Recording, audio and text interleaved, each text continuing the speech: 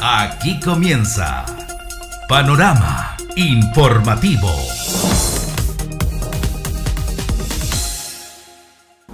¿Qué tal? ¿Cómo están? Bienvenidos, bienvenidas a Panorama Informativo, agenda noticiosa en donde le llevamos a ustedes el acontecer de los principales hechos que han ocurrido en la comuna de Vicuña y en la región de Coquimbo. Comenzamos con la exitosa versión de la fiesta de denominación de origen Pisco que se realizó el fin de semana en Vicuña, un evento que reunió a cerca de 5.000 personas en la Plaza Gabriela Mistral. Estuvimos ahí y le llevamos los detalles.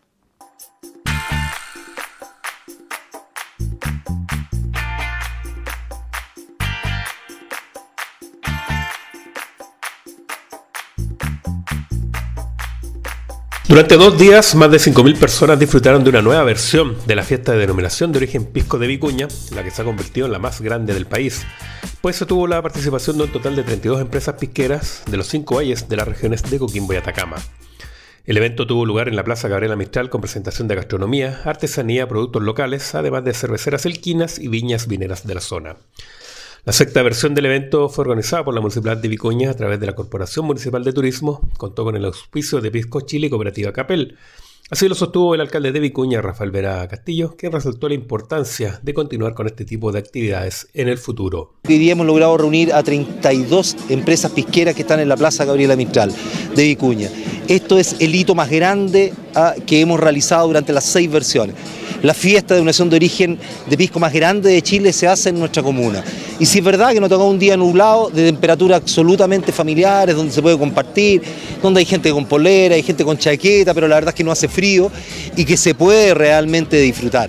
Claramente eh, el pisco es parte de la historia, son más de 200 años, donde la empresa pisquera junto a la agricultura le han dado trabajo, le han dado posibilidades de desarrollo a esta región y a la región de Atacama. Esta fiesta acompañada de nuestros artesanos, de nuestro mercado campesino, eh, algo de nuestra gastronomía y por cierto, de talentos nacionales musicales. Los cinco valles pisqueros del país, el Quilimarí, Chuapa, Copiapó y Huasco, estuvieron presentes en esta fiesta denominada El Pisco Genera Unión y nos fortalece. Así lo aseguró el presidente de la cooperativa Capel, Nelson Durán. Hoy día ustedes han podido ver que el pisco no genera rivalidades. Los productores de pisco nos aglutinamos, genera uniones. Y eso es lo importante de esta iniciativa y es lo importante de este rubro. Así como une a la familia, une a la fiesta, une al mundo a celebrar, el pisco también entre productores nos une, nos fortalece para seguir creciendo y ganar todo. Por su parte, Claudio Escobar, gerente de Pisco Chile AG, sostuvo que esto es un ejemplo a replicar en otras comunas de la zona pisquera. Creo que realmente esto es un ejemplo eh, a replicar por otras comunas de la zona pisquera, tanto de Atacama como Coquimbo, por todo este mm, compromiso, esta convicción eh, y esta puesta en valor que se ha hecho de esta actividad eh, y que no solamente reúne a los productores de pisco, sino también a, artesanos, a productores de otros productos típicos de la zona, eh, el mundo gastronómico también local, que finalmente ponen en valor todos los atributos de, esta zona, que es una zona única, eh, una, una zona especial, que por algo tiene denominación de origen. Esto tiene que ver con el territorio y con su gente. Así que solamente como asociación podemos agradecer este trabajo. Eh, lo dijimos también en nuestro discurso, es muy importante la continuidad de este, de este proceso. Vale destacar que durante los dos días de festejo se reunieron cerca de 5.000 personas en la plaza comunal lo que fue resaltado por la directora regional de Cernatur, Angélica Funes. Esta fiesta de denominación de origen es siempre muy esperada por todos. En mayo y ahora específicamente estos primeros días de junio que hacen que este mes eh, del, del, día del pisco, el mes del pisco, se pueda alargar y así poder generar todo un movimiento también turístico. Hoy día podemos ver cómo esta plaza, la plaza central de Vicuña está con muchos visitantes, muchos turistas que vienen a disfrutar de este, eh, de este eh, brebaje espirituoso como es el pisco. La industria pisquera genera de manera directa 3.500 puestos y de manera indirecta 40.000. Y por supuesto, uno de estos puestos o más de estos puestos son los que genera a través de la industria turística. Por lo tanto, ¿cómo no podemos estar contentos hoy día de estar acá disfrutando y celebrando el Día Nacional del Pisco? En la ceremonia de inauguración de la fiesta del pisco se destacó a pequeños productores del Valle de Elqui por su historial en el desarrollo del pisco.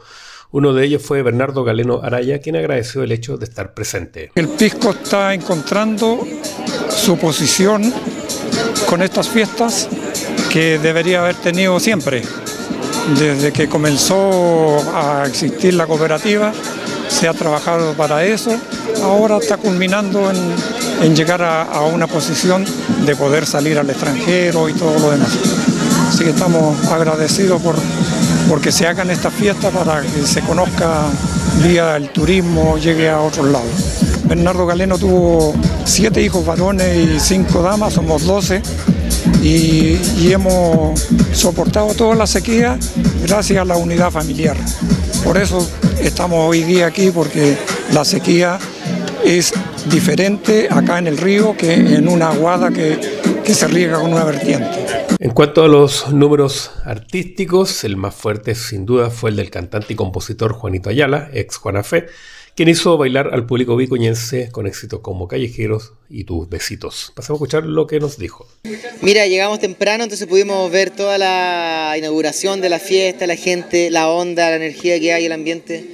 Un, realmente un carnaval, eh, nos trató muy bien toda la gente, eh, la gente, tanto como la gente que está siendo parte de la fiesta, como el público también, que, viene a disfrutar la fiesta.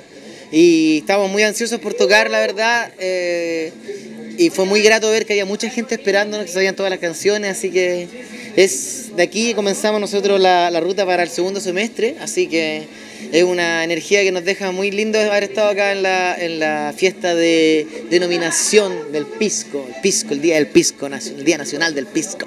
También pasó por el escenario de la fiesta de denominación de origen pisco la banda Los Rumberos del 900, que hizo un repaso por los éxitos bailables de los años 50 en adelante, pero también dedicó un espacio de su repertorio para hacer un tributo al gran Salo Reyes.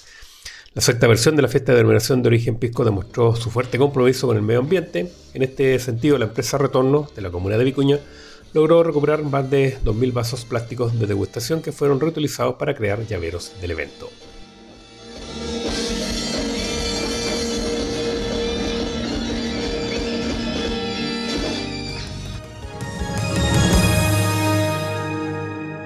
Y cambiamos completamente de tema gracias a un proyecto de mejoramiento financiado por la Municipalidad de Vicuña. El Club Deportivo Arauco de Nueva Talcuna cuenta con una renovada techumbre en su sede social. Los detalles los vemos a continuación. Alegría y satisfacción para los miembros y socios del histórico Club Deportivo Arauco de Nueva Talcuna, pues su sede cuenta con una renovada techumbre lo que fue posible mediante un proyecto de mejoramiento financiado con recursos municipales y la incansable lucha de la comunidad por contar con espacios que permitan fortalecer el desarrollo deportivo y social.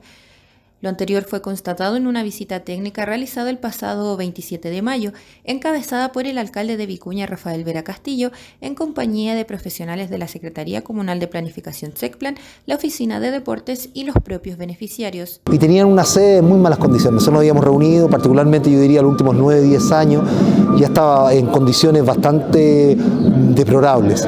Eh, nosotros nos comprometimos hace un tiempo atrás efectivamente a hacer unas mejoras. Partimos con los camarines ¿ah? y los baños para poderle entregar dignidad efectivamente a las personas que vienen a practicar deporte que tuvieran un lugar donde efectivamente poder cambiarse o poder ir al baño. Después, en la sede, que tenía tanta tradición y tanta historia, sus muros estaban en muy malas condiciones, pero su techo era lo peor, ¿ah? que eh, la verdad que era muy peligroso estar en el interior de la sede. Y le dijimos, bueno, nosotros nos comprometemos a cambiar el techo. No nos podemos comprometer a la sede completa porque lo vamos a hacer con recursos municipales, con recursos propios. Eh, si esto lo postulamos a un proyecto, probablemente podamos sacarlo completo, pero puede demorarse años. Ellos nos pidieron alcalde, dele nomás con la techumbre y nosotros veremos. Cabe señalar que la techumbre existente se encontraba en un deterioro considerable por los años, lo que se acrecentó con el terremoto ocurrido en el año 2015. De esta manera, la intervención consideró el retiro total, construyendo una nueva cubierta más resistente, principalmente de estructuras metálicas. Mira, el proyecto acá fue generalmente el cambio de la techumbre del club deportivo, que está en muy mal estado. Era de madera y está prácticamente que se caía solo. Ya, el proyecto son eh, que se construyó son 367 metros cuadrados de cubierta eh, con estructuras metálicas, eh, que contempla el salón principal y la cocina que está al lado de atrás, que igual es con cerchas de madera y cielo raso, así que en general toda la estructura de la cubierta y techumbre es nueva, así que tiene una vida útil ya de, para varios años más. No, contento, contento, muy agradecido de, la municipalidad, del alcalde, de, su, de la gente que trabaja con él, de la empresa contratista que realizó el trabajo, eh, también darle las gracias y no contento, un avance gigante pues, para nuestro club, nuestro pueblo, nuestro, nuestro futuro, que son la juventud, sobre todo. Adicionalmente, como una iniciativa de la propia comunidad, procederán a la construcción de las paredes de la sede, generando los recursos monetarios, así como la mano de obra ellos mismos. Ellos partieron la campaña del bloque de que ya los fines de semana anteriores han estado trabajando, han hecho los, los hoyos, los cimientos, y hoy día ya están en condiciones de empezar a pegar el bloque para poder levantar las paredes. Por Dios, ¿cómo no va a ser bonito? De que el municipio hace un esfuerzo y tal vez le entrega lo más caro, ¿ah? que es la techumbre, pero que ellos, con el esfuerzo de sus jugadores, de su plantel, de toda su institución, empiezan a reunir recursos y empiezan a levantar con sus propias manos eh, eh, las paredes. Creo que esto habla de la sociedad que queremos. Los clubes deportivos son instituciones súper importantes en nuestra sociedad porque le dan una válvula de escape muchas veces a aquellos que no tienen posibilidad, que trabajan durante toda la semana y no tienen entretención. Y en el deporte la encuentran. Y que ellos tengan una linda casa, evidentemente que es muy importante. Muy importante nuestra sede. Eh, porque siempre, así viejita como estábamos, eh, era nuestra casa y nos tocó, ahora nos tocó este premio que, que vamos a poder eh, hacerla completa nuevamente como queremos, así que ojalá que los quede muy linda. Finalmente, la familia deportiva del Club Arauco agradeció a todos quienes hicieron posible la materialización de este proyecto, pues la sede tiene un gran significado para toda la comunidad. Y con esta información desde el sector costa de la comuna de Vicuña nos vamos a nuestra primera pausa. Enseguida estamos de regreso. Estás viendo Panorama Informativo.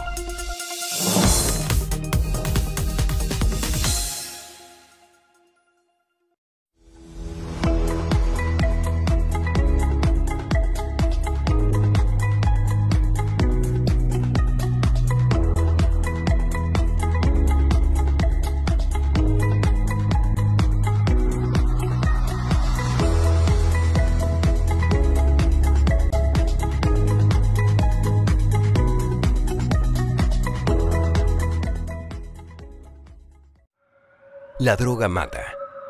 Destruye niños, jóvenes, familias y sueños. Hoy somos número uno de América en consumo de marihuana, cocaína y pasta base. Entre todos tenemos que cambiar el rumbo y también la historia. Por eso, además de combatir con fuerza el narcotráfico, debemos prevenir que niños y jóvenes caigan en la droga y rehabilitar a los que ya cayeron. La mejor arma contra las drogas es que los padres conversen con sus hijos. Escúchalos, guíalos. Infórmate del nuevo Plan Nacional. Elige vivir sin drogas. Ministerio del Interior y Seguridad Pública. Gobierno de Chile.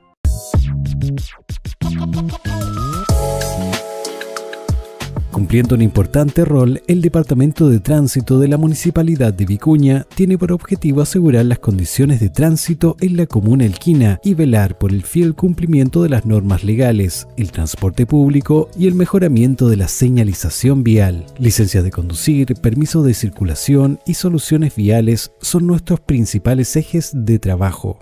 Enfocados en prestar la mejor atención, nuestro equipo multidisciplinario recibe a los usuarios y usuarias para entregarles información de manera clara, sencilla y eficiente, sea cual sea su requerimiento.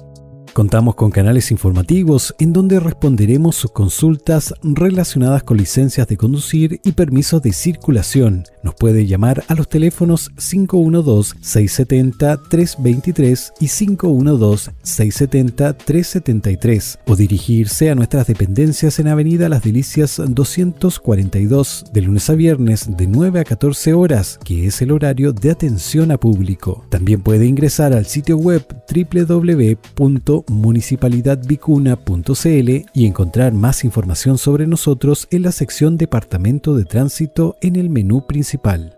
Nuestro departamento seguirá trabajando incansablemente por los vecinos y vecinas de la comuna de Vicuña, preocupados de resolver y entregar el servicio que merece.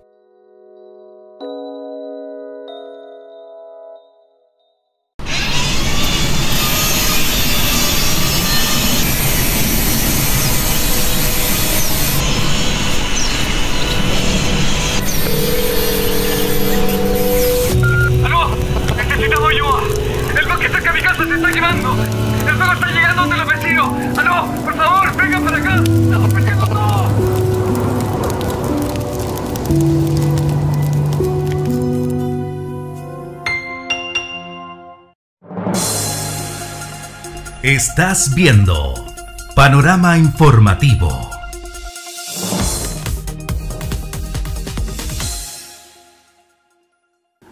Continuamos con Panorama Informativo. Implementada en el año 2016 y desde el 2020 administrada por la municipalidad en su totalidad, Epicrianza se ha convertido en un verdadero espacio por el vínculo afectivo familiar y el aprendizaje a través del juego. Tenemos detalles de un importante hito en la siguiente nota.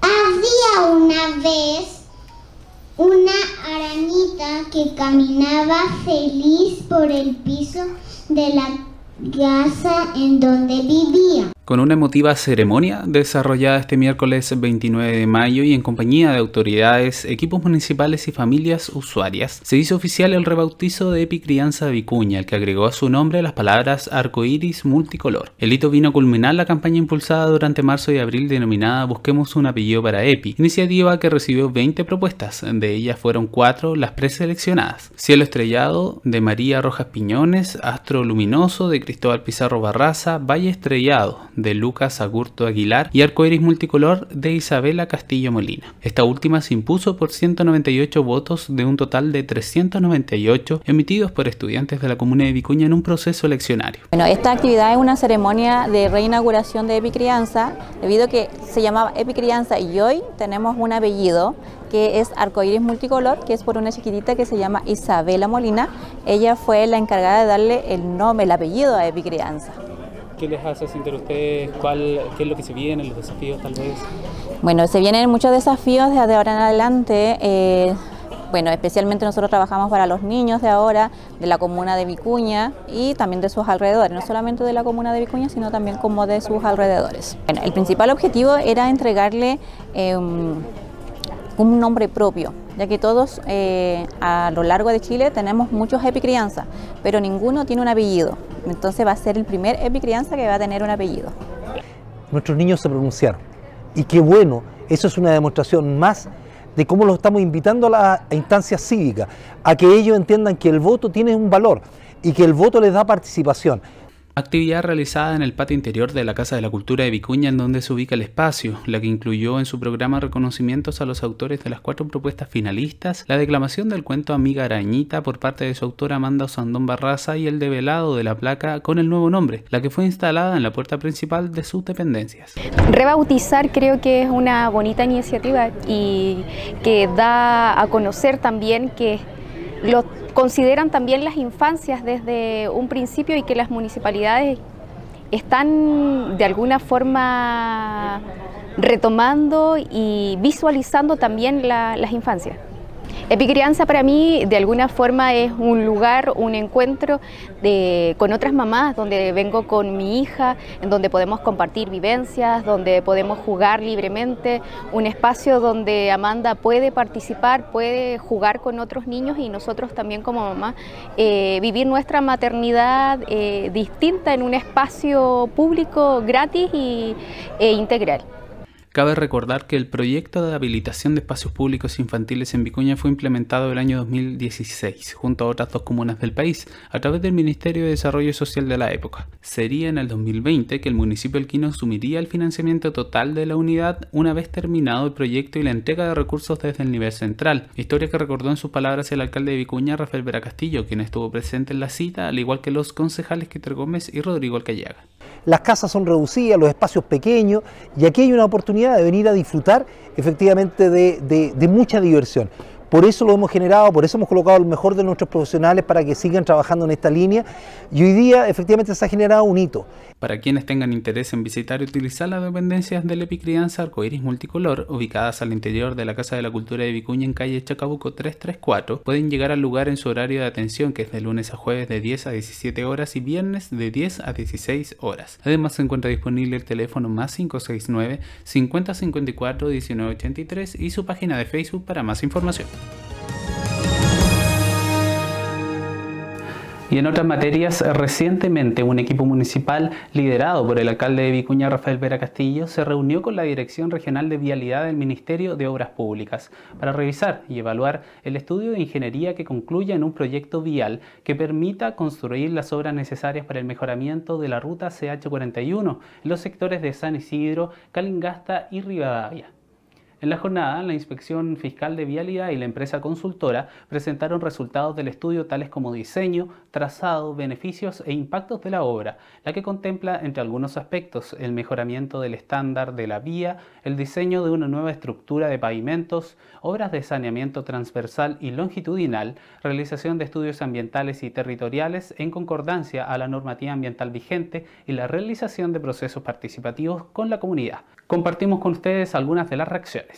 Esto siempre está enmarcado dentro de la, del proceso que nosotros utilizamos comúnmente, que aparte de hacer los diseños desde el punto de vista técnico, hacemos reuniones con la comunidad y con las autoridades, ya sea con los servicios públicos, también con los que son dueños del territorio, que en este caso es la municipalidad.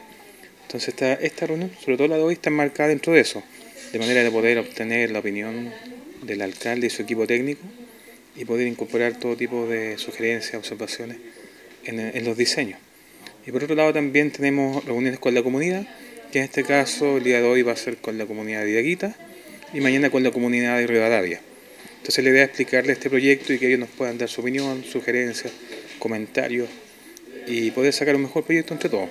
Nos dieron opiniones en distintos temas, especialmente los cruces, y nos van contando cómo es el movimiento, cómo es el comportamiento de los peatones, de los vehículos, de los usuarios de la ruta, y que son ustedes los que, en este caso, ¿cierto? el equipo técnico y el alcalde son los que conocen este tipo de características del, del comportamiento de la gente en este sector. Entonces nos permite a nosotros poder afinar un poco más los diseños y mejorarlo. Estamos muy contentos. No queremos decirle a la comunidad que en dos o tres años esto va a estar listo. Esto no es así. Lo que está finalizando, probablemente el año 2024, comienzo del 2025, lo que finaliza es el estudio. Y ya se ha reunido Vialidad con la comunidad, se ha reunido en dos oportunidades con el municipio y nosotros hemos dado nuestros pareceres, hemos indicado aquellas cosas que sentíamos que faltaban al proyecto, pero en reglas generales estamos muy, muy, muy contentos. Hemos planteado inclusive de que nosotros somos parte de zonas rezagadas, algo que, bueno, que nos da una posibilidad de financiamiento más rápido. Eh, también se quedó de analizarlo, por lo menos en una primera etapa, financiarlo con zonas rezagadas y no esperar tanto tiempo, efectivamente, para que este proyecto pudiese avanzar. Yo, este es un proyecto que, si uno analiza la historia de estos proyectos, van a cuatro o cinco años después de su término como diseño de ser financiado. Por zonas rezagadas, podríamos lograr que en uno o dos años, efectivamente, una etapa de este proyecto pudiera comenzar. Sabemos la necesidad Bueno, si empiezo a mencionar los cruces me quedo con, temas pendientes, pero tenemos eh, Calingasta, El Arenal, Peralillo, eh, Diaguitas, por cierto, por los dos sectores, Algarrobal, eh, la escuela, Rivadavia, el ingreso a Paiguano tenemos efectivamente una sumatoria de puntos que hay que mejorar y este proyecto efectivamente habla de mejora en todos esos sectores. Así que muy esperanzado que se pueda materializar y evidentemente que nosotros nos gustaría que fuera lo antes posible, que en dos o tres años pudiéramos ver por lo menos los comienzos de este tipo de proyectos. Y con esta información nos vamos a nuestra segunda pausa. En breve estamos de vuelta. Estás viendo Panorama Informativo.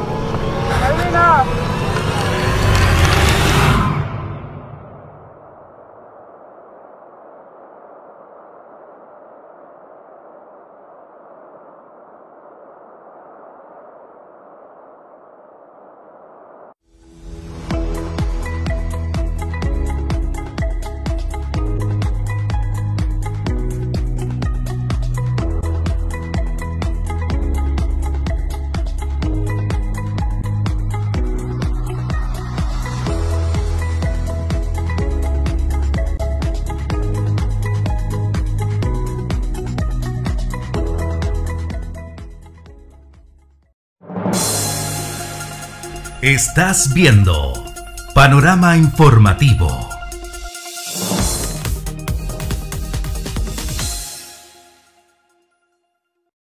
Ya estamos de regreso y ahora en materia deportiva, cerca de 40 estudiantes provenientes de diferentes establecimientos educacionales de Vicuña participaron de un campeonato de fútbol mixto organizado por el Consejo Consultivo Infanto Adolescente de Vicuña, el que se realizó con éxito el pasado viernes 31 de mayo en la cancha municipal de Pasto Sintético.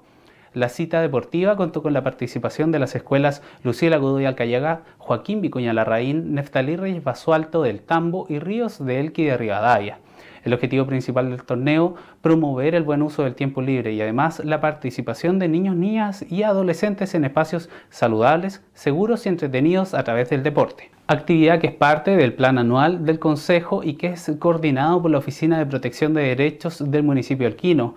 Durante el campeonato se hizo un alto a los partidos para entregar un reconocimiento a Guido Trujillo López, joven alquino que se desempeñó durante siete años como presidente del Consejo de Vicuña. En palabras de sus propios pares y de profesionales de la municipalidad, destacan el aporte de Guido en la participación de los menores en diferentes ámbitos de la sociedad. En cuanto a los resultados del campeonato, fue la escuela Neftalí Reyes Basualto del Tambo la que se quedó con el primer lugar en la tabla, dando cuenta de sus habilidades en esta disciplina. Tenemos reacciones, las vemos a continuación.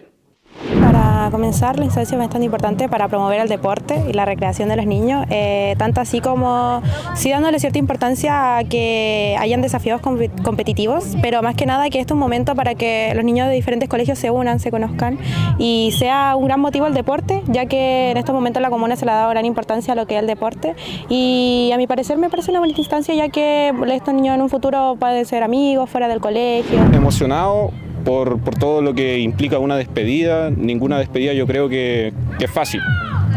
Contento también porque se sigue promoviendo el deporte, ahora en unas condiciones tremendas como es una cancha de, pasto sintético que para lo común hace muy pocos años todavía no, había una y esta es una cancha de, fútbol 11 que, que es algo mucho más extraordinario.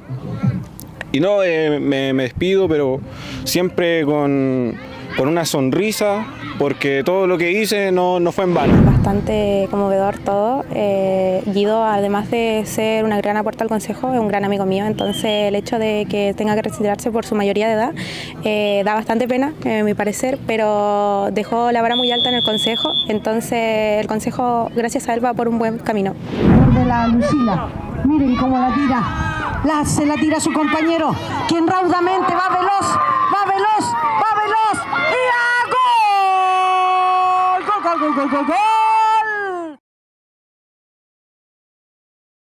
Y ahora nos vamos a la provincia del Limarí. EDP es una empresa que opera en el mundo en todos los segmentos del sector eléctrico y esta vez inauguró su primer proyecto operativo en Chile, el Parque Eólico Punta de Talca, ubicado en la comuna de Ovalle. La ceremonia de inauguración contó con la presencia del ministro de Energía de Chile, Diego Pardo Lorenzo. El parque está compuesto por 14 aerogeneradores, aportará 83 megavatios al sistema eléctrico nacional y con una capacidad de generación anual que equivale al consumo de 95.000 hogares. Además, va a permitir evitar la emisión de 140.000 toneladas de CO2 cada año. La iniciativa cuenta con una inversión total de 120 millones de dólares, generando más de 350 empleos directos durante su fase de construcción, fomentando así también la economía local. Y es que Punta de Talca es uno de los varios proyectos de inversión priorizados en el marco de lo que es el Gabinete Pro Crecimiento y Empleo impulsado por el presidente Gabriel Boric. Tenemos reacciones, las vemos a continuación. Es una región líder en términos de energía limpia, un 99% de la energía que se inyecta al sistema en esta región es eh, energía limpia, una, una región que le aporta eh, al país em, energía y la energía eólica en particular en eh, parques eólicos que tienen este tipo de perfil son los que precisamente nos permiten ir desplazando energía, energía térmica, que no solamente producen durante el día sino también em, durante la noche. Es también eh, el primer parque eólico de la empresa EDP, una empresa portuguesa líder eh, en el mundo en energías limpias. en Chile, eh, parte de la gracia que hemos sido capaces de construir, no este gobierno en particular, digamos otros gobiernos anteriormente, esto es una política de Estado, es diversificar la cantidad de participantes en el mercado. obviamente EDP faltaba, faltaba Portugal dentro de nuestro portafolio de empresas que están, digamos, de todas partes del mundo con todo tipo de tecnologías, con distintas aproximaciones. Eso le aporta resiliencia al sistema, no estamos sujetos a la fragilidad de ningún eslabón en particular y por lo tanto una muy buena noticia y esperamos que después de este parque vengan muchos más efectivamente, en el, primer gabinete que se hizo pro crecimiento de empleo eh, en regiones, que lo lideró el presidente Gabriel Boric en la cuarta región, eh, este fue uno de los, de los proyectos que estaba priorizado, eh, se ha trabajado con el intersector, también con, con la Seremi de Economía, para poder ir acelerando los procesos de permiso. De hecho, ya tenemos presentado en el Congreso un proceso, un proyecto de ley que va a permitir acelerar eh, la inversión privada en nuestro territorio, reduciendo los tiempos de tramitación que son esenciales para poder seguir incentivando la inversión y también la creación de empleo. Nosotros hoy día somos una región que se caracteriza, se caracteriza a nivel nacional por inyectar energía limpia, eh, el 99% de la energía que se inyecta desde esta región es limpia y vamos a seguir eh, en esa línea de trabajo fomentando la energía renovable, solar, eólica, para eh, dar una mayor seguridad también hídrica a la región, porque aquí estamos reduciendo el consumo de agua para las actividades industriales. Para nosotros es muy importante porque a la vez, como dicen ellos, traen trabajo, energía limpia y también nos ayuda a las comunidades. Nosotros estamos agradecidos de ello porque también les dio trabajo a algunas personas y también nos mejoran los caminos y nos, y nos aportan cosas que la comunidad no tiene. Estamos agradecidos del, del parque. El impacto que generan este tipo de empresas que tienen como finalidad principal el, ocupar energías limpias, eh, tienen además una vinculación directa con las comunidades.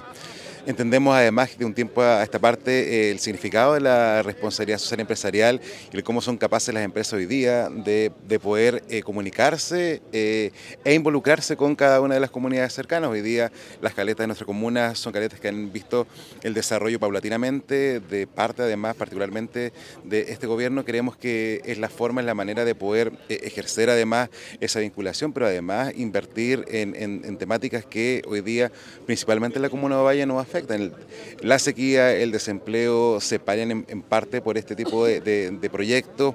Nosotros felices de que sea Valle, una de las comunas pioneras además en la región de Coquimbo, en instalar la metodología de, las energías limpias y creemos que es la forma además de eh, proyectar dentro del territorio, específicamente rural, este crecimiento energético. Y con esta información nos despedimos, agradeciendo como siempre vuestra compañía. Que esté muy bien, nos volvemos a encontrar. Esto fue Panorama Informativo.